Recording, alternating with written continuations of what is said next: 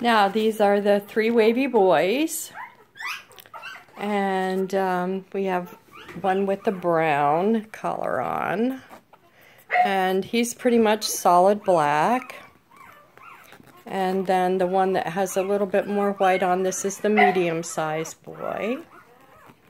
The wavy coats look like Labradors. And then here is Big Sexy. As you can see, he's bigger than everybody. And he came out pretty much in the middle of the litter. And he has a big white blaze. And he's a very handsome man. And uh, I think he'll, if he turns out to be somebody and put together right, we'll probably keep him in the show breed program.